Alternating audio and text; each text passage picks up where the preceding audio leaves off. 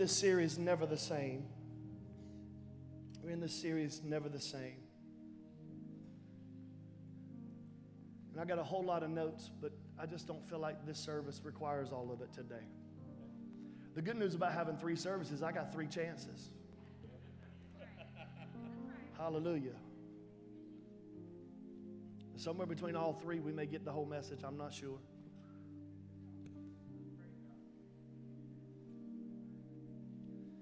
While you're turning to the Gospel of Matthew, chapter 25, I, this week has been very interesting to me. Um, your, your faithful gift, your faithful gift to us over Pastor Appreciation is very important to, to steward well. Uh, my brother in law, he used this illustration to me very casually, but it, it resounded in me the parable of the talents. One was given one, one was given five, one was given ten. All were required for increase.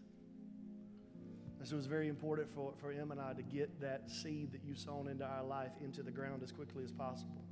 So we took a couple days. Over the last couple days, when we've dealt with the, your, our stewardship of your seed into our future, I, have spent, I spent multiple days coming around people that um, are members of our church that never come through the doors. Been very interesting over the last several days, the encounters I've had. Oh, yes, we watch you every Sunday. Oh, yes, we're part of Judah. At the end of the service last night at the youth conference, I had this uh, lady. She was probably in her, I don't know, she's, she looks younger than me, but she's got to be older. Which at this stage in my life, because of all y'all, it did take a lot to look older than me. Because y'all stressed, never mind. I'm really 25. Do you see what ministry has done to me? So stupid. This lady comes up to me and, and she, she's touching me and touching me. She's, she, okay, she's Latina. Okay? So the fact she's touching me and not cutting me, I know I'm in a good place. Y'all, y'all, y'all some of y'all don't know. Uh, uh, she was touching me, and you know, and she feels very connected. She said, "You don't know me, but I, but my son and I are members of your church." And I went, "Well, it's nice to meet you." She said, We've never been through the doors, but we watch every week. And then at, throughout the week, we'll watch the services multiple times. And that was just last night. And it's amazing to me what God is doing and how God is speaking. Pastors and leaders and, and different people, and then just people that are, as they're preparing to be used by God in their ministries, are, are watching and are part of what we're doing here. What we do matters. And part of part of this week um, i'm saying all this for a point i promise. Part of this week we had to um, we had to go uh, to towards the beach. Now i'm going there for business. My wife is going for pleasure. And uh, we were just going to drive down sign some documents do this thing and she goes honey let's stay. And i'm like baby i got a whole lot to do. I know let's stay. And i'm like you don't understand. I'm the head of this house And I have decided at the head of this house that we're going to do whatever you want to do. and so, you know, so I, so we, we stayed for a couple days and, and I'm, I'm on this, I'm on this journey with the Lord in, in, in relation to my personal health. And every day I spent four, between four and five miles every day walking the beach. And, and what I heard the Lord say to me over and over again was this one question Will, will you go first? Will you go first? Will you go first? Will, will Judah go first? Will you go first? There's a wave of glory, there's a wave of power, there's a wave of revelation, there's a wave of healing, there's a wave of signs, there's a wave of wonders, and not a wave of weirdness, but supernatural manifestation. And, and, I'm looking, watch this, this is not special to Judah Church, but I believe that God is setting up regional revivals all around our nation. And the question that I kept hearing the Lord ask me all week long was this one question Will Judah go first? Will Judah go first? Will we be willing to pay the price to unlock something in this region that this region has been prophesied over for decades? Is Judah willing to pay the price to go first? It's a conversation and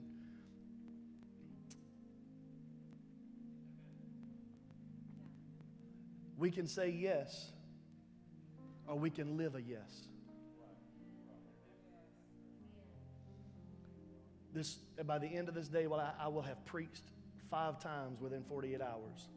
They did a study that said the stress and strain on one's body in a 50 minute message is equivalent to eight hours of work with stress and strain. This will be the fifth time I've done it within 48 hours. And the Lord says, Will you go first? I could not walk in here tired. I had to give him everything. So I, I didn't feel like praising, but I had to praise him until I felt like praising. Did you hear what I said? I, I felt like sitting, but I knew if I sat, you know, a body in motion stays in motion, and a body that sits will sit.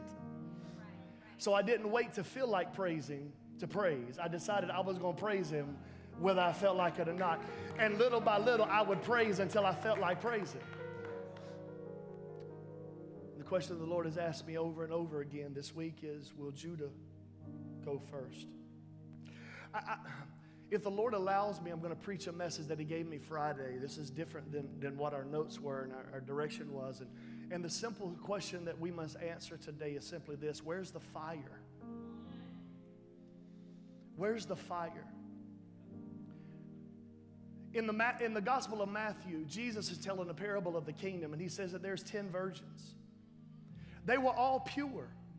They all wanted to be married and they all had kept themselves for that wedding night. They all had a desire for the bridegroom. They all had made preparation for that bridegroom. But the issue is, as the night got darker and the bridegroom tarried longer, they were not prepared to sustain themselves or the fire that was required during the dark time to create illumination and warmth and they were not prepared to walk it out as long as it took. They were willing to pay a price, but they were not prepared to pay the price for as long as it takes. And there are too many of us that want God to move in our life, but we're not willing to have a as long as it takes pursuit. Somebody asked me as a very young minister years ago, they said, Pastor, what will it take for us to be whatever their version of success was? And my immediate response was, It's real simple. What's it going to take? It's going to take everything. It's going to take everything to do what it is that God's called you to do. It's going to take the good times and the bad times. It's going to take the people that gather with you and the people that walk away. It's going to take the people that are going to hold your heart together and then the people that are going to break your part of your heart apart. It's going to take it all if you're going to fulfill God's purpose for your life.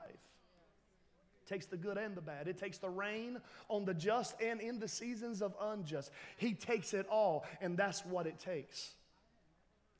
These five particular virgins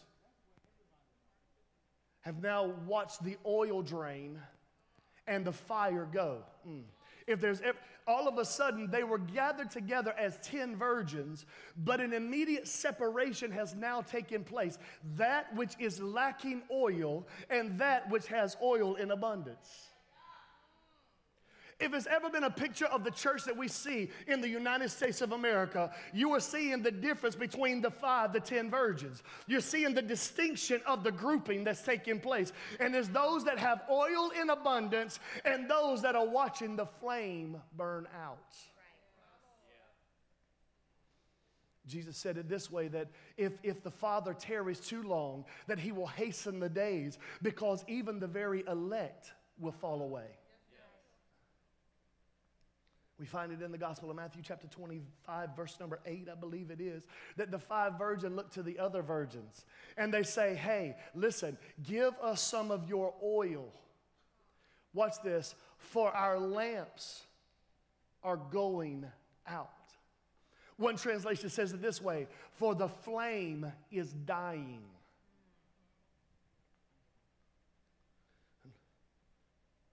Our flame is dying flame that was once ignited has not had enough oil in flow. And now the flame is no longer burning near as brightly as it once did.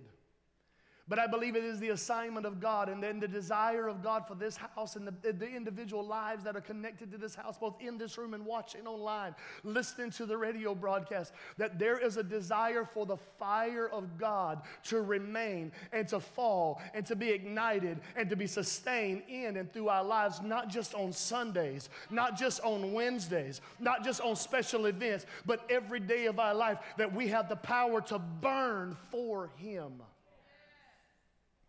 It's the fire of God. A couple observations I want to make. I want you to help, help you understand today. Number one, that the fire of God is God. The fire of God is God. We're not talking about God's fire. We don't want God's fire. We want God. Because the fire of God is God. That when you have the fire of God, what you really have is God.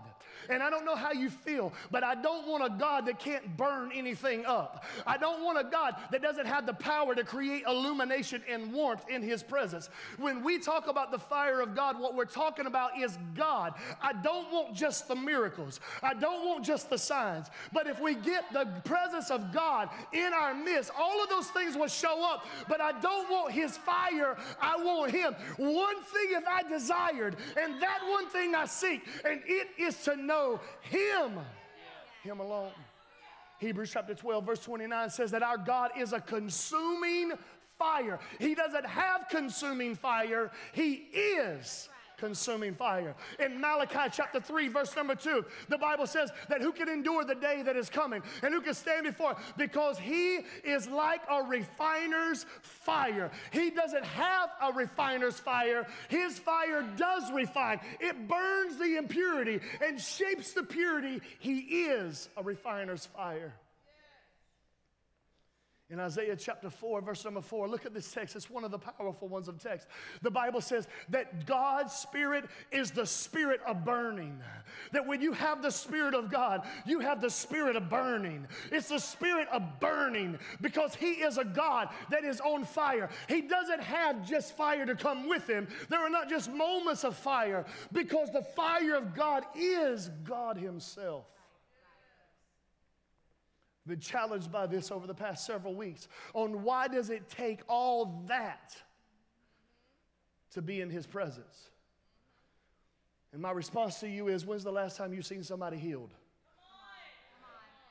when's the last time somebody's been delivered in your church do you have trash cans in your front for people getting set free from d- demonic oppression and they have to vomit it out?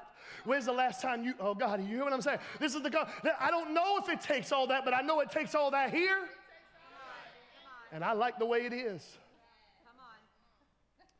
Matthew chapter 3 tells us that Jesus is coming and he will baptize us in the Holy Spirit, in the Holy Ghost, and in fire. Not only is the fire of God confirmation because it is God, but number two, the fire of God is confirmation that God is pleased. All throughout scriptures, you see God receiving the sacrifices of his people, and he comes by way of fire to bring up the sacrifice. You see this very clearly in Leviticus chapter 9, 22 through 24. The people of God brought a sacrifice, and God consumed it, and he consumed it through fire. In Genesis chapter 15, Moses has brought over five animals. He's cut them in half. He put one half over here and one half over here, and God comes down and he burns it all with fire. He receives the sacrifice.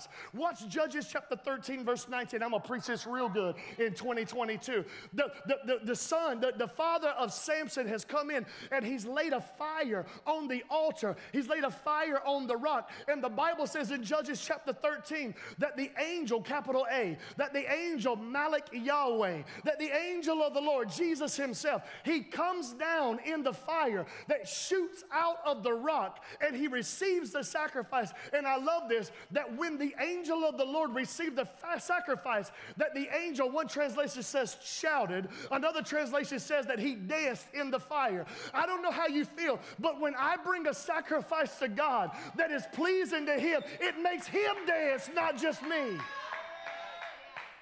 Even the heavenly realm shouts and dances in fire. Not only is confirmation that He is God, confirmation that He is please watch this, but fire is confirmation that He is present. It's confirmation that He's present. that He is here. Listen to what he said in Zechariah chapter 2, verse 5. He says, For I, says the Lord, will be a wall of fire all around her, and I will be the glory in her midst. How do you get your life protected from all of the nonsense that's happening in our world today? Is when you come into a place where you have the presence of God in your midst. He'll be a wall of fire. He is the glory and the lifter of our head. He'll be a wall, not just a wall, but a wall of fire around you. The children of Israel are walking through the wilderness, coming out of Egypt into the land of promise, and they're in process called the wilderness. And they were being led by a cloud by the day, but they didn't have to worry about it in that desert air because the heat of the sun kept them warm. But in those dark nights, in those dark, cold, arid nights, that temperature would drop in significant ways. So God would take the cloud and He would ignite it with oxygen, and it would become a pillar of fire in the nighttime. Why? Because it would be illuminated in dark times and they could be warmed by the heat that would come off of it. What are you saying? I'm saying in the darkest of our season, in the darkest of this culture, it is time for the fire of God to fall in such a way that it illuminates what's going on in the dark corners of our world.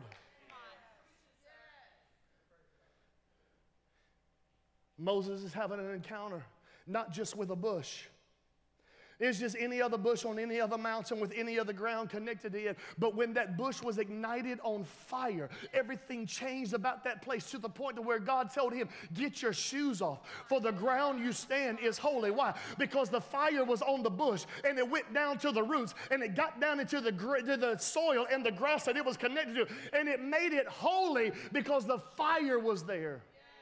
Because the fire was there.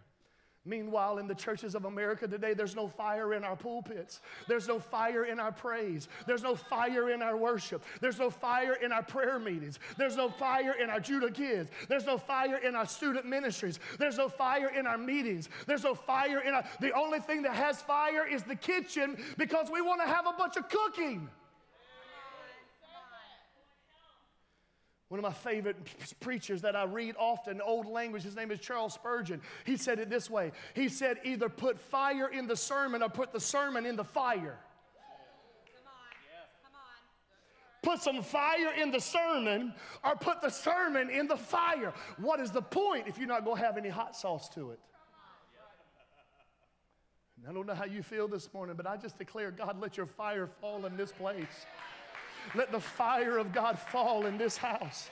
Let the fire of God be, let, let, let it be evident and real. We, we, we pray according to 2 Timothy chapter 1, 16, that you would stir up the gift of God on the inside of us, that you would set ablaze the gift of God on the inside of us, that the fanning of the flame of God would be released in our life. I want to ask you today, where's your fire? Are you fired up about politics? Are you fired up about the economy? Are you fired up about your 401k? Okay. Are you fired up about your favorite team? Are you fired fired up about what God is able and willing and doing in the earth.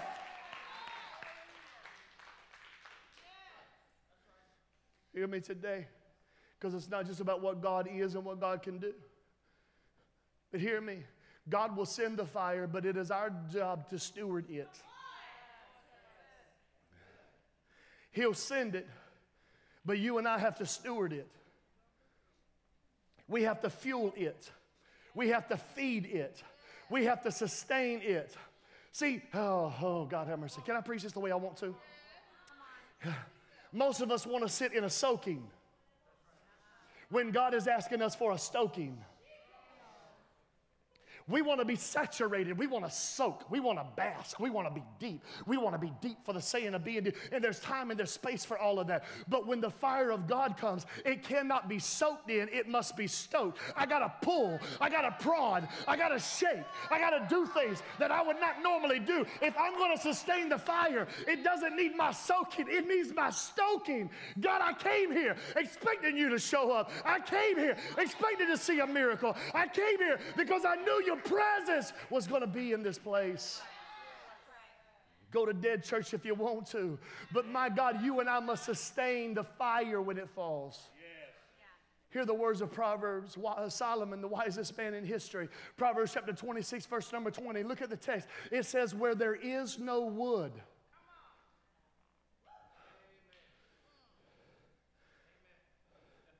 It wasn't the absence of fire, it was the absence of fuel.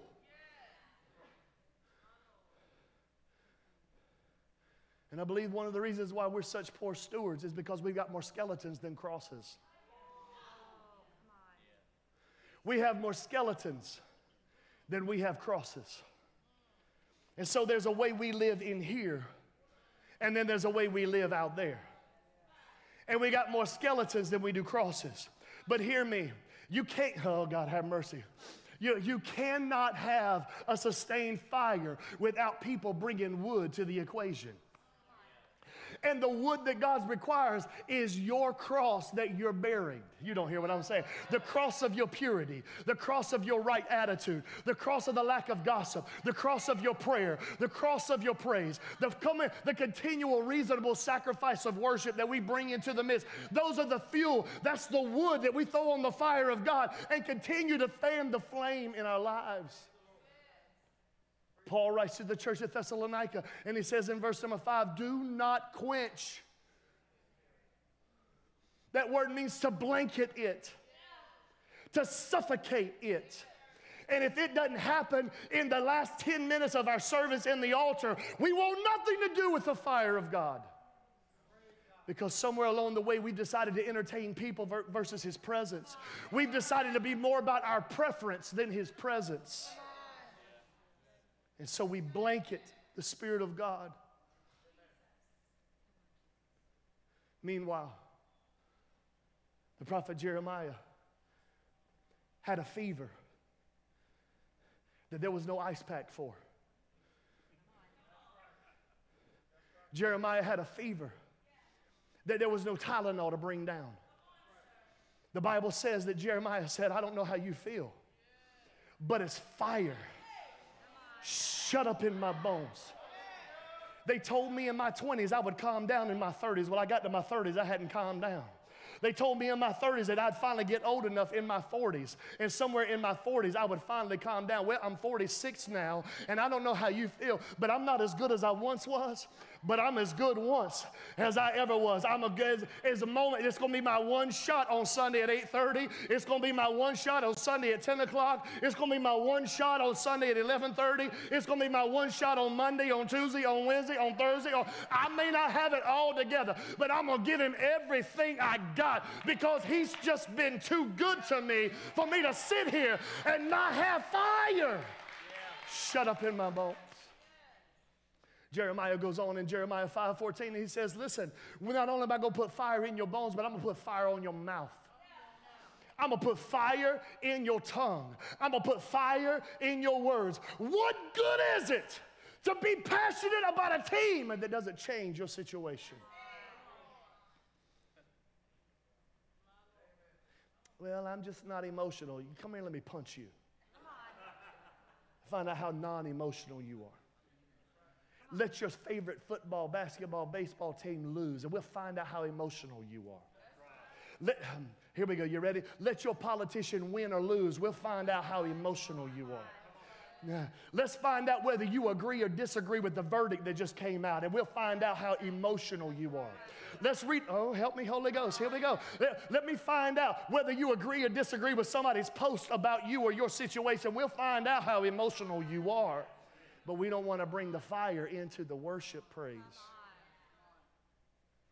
Well, Pastor, I just don't know that we need the fire. Acts chapter 2 tells us that on the day of Pentecost, when he had fully come, they were all gathered in together one place, in one mind and one accord. And suddenly there came a sound as a rushing mighty wind, but it wasn't enough for being a wind, but cloven tongues of fire set upon each of them, and they were all filled with the Holy Spirit. Luke chapter 24 tells us that the disciples are walking on the road to Emmaus with God, and he begins to tell them about the unveiling of Jesus from the Old Testament all the way into the modern day time. And after Jesus vanquished, he vanished himself from their moment. They looked at each other and they had Holy Ghost heartburn, and they said, Does my heart not burn within me? As he began to break open the Word of God. What good is it to have a Bible? What good is it to have the Word of God if it doesn't make you want to burn for Him on the inside.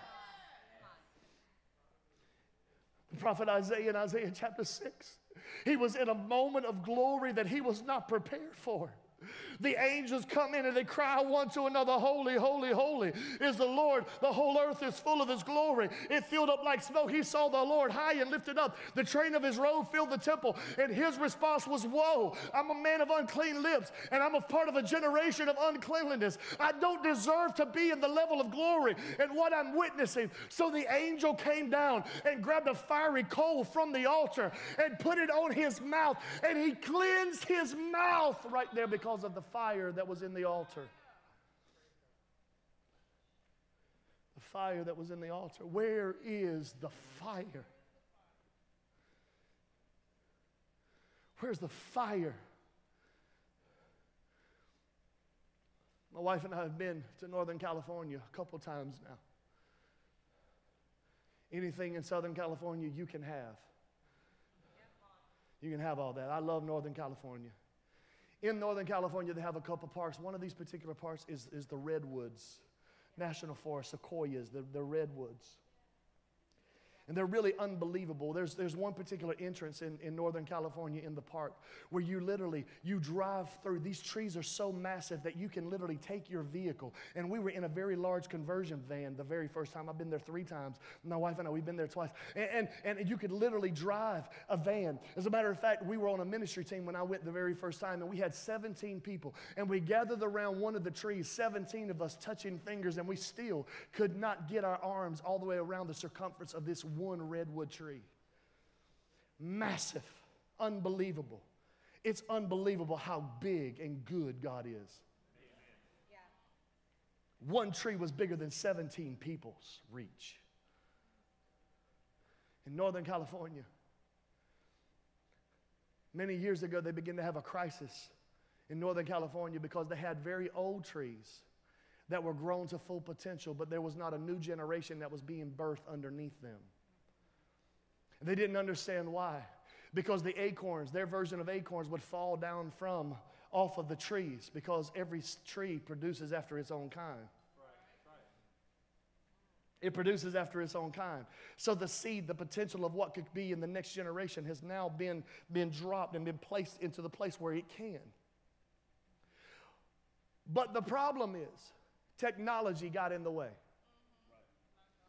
Back in the old days, a lightning would strike into one of those forests and it would create a fire inside of that. Watch this. Not every area of the forest would burn, but every area of the forest would feel the heat. The problem is in Northern California that all of the air is blowing off of the Pacific Ocean. And so there's an incrustation that would begin to happen over top of the seeds as they laid on top of the surface of the soil. The incrustation would encapsulate the seed to the place to where it did not have the ability to get the air and be released in its full potential into the ground. And the only thing that would destroy the incrustation that was around that seed was the fire and the heat that came off of it. But technology got in the way, and the forestry department decided what they were going to do is every time they would see the lightning strike and a fire begin to spark, they would quench it as quickly as possible because they did not want everything to burn in the generation that has their strength and power and their visibility in this moment. So they would quench the spirit, oh God, so they would quench the fire because they, they were okay with a little lightning, but sustained fire produced a lot of heat, and a lot of heat was not good, they thought in their mind, because all of their technology told them this is not good to have this much fire. And they realized that there was a generation that was not coming up next, and the ones that were coming up were stunted in their development and their growth. And they realized what they were doing is they allowed technology to overwhelm their intelligence intelligence of what God created that when the lightning would strike and the fire would fall in that forest, it would be the heat that would burn off the incrustation of the environment it was in. It would burn off the incrustation of the environment and the culture that it was in so that it would unlock the fullness of the potential of the next generation coming. So, what we've done is we've allowed the technology of today to blanket The only place, it doesn't matter how many lights you put in here, it cannot compare to the fire's heat. Because if your child, if our children are ever going to have the fullness of the potential of God unlocked on the inside of them, it will not happen because of what technology can do. It will happen because the fire has fell and it has been sustained and the heat has burned off everything in this culture that is not a part of God's plan for their life.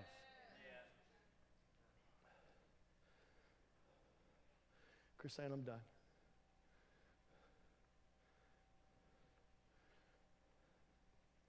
So I stood on Mount Carmel with a prophet, had overwhelming odds stacked against him in terms of numbers of men. And he looked at them and he said, You call on your God, and I'll call on my God. And the one that answers by fire, let's, him, let's let him be God. So you call on your God, and I'll call on my God. And let the one that answers by fire. If, if politics can bring down the fire, it already would have been. If the economy, if a stimulus check could have brought down the fire, it already would have happened. So it is abundantly clear that you can cut, you can scream, you can do all the things in pagan worship that you want to. But if there is no fire, that is not God. So let's let the God who answers by fire be God. So he said to me, Will Judah go first?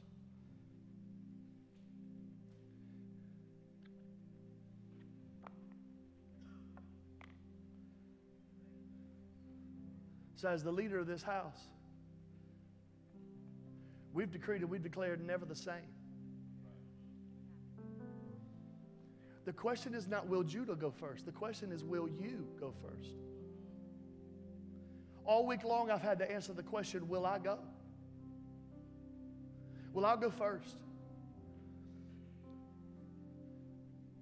There are people counting on His fire in my life. There are people counting on your. They don't have enough faith for fire. Right, right. Question is Will you and I pay the price to sustain that kind of glory being revealed and released in this room?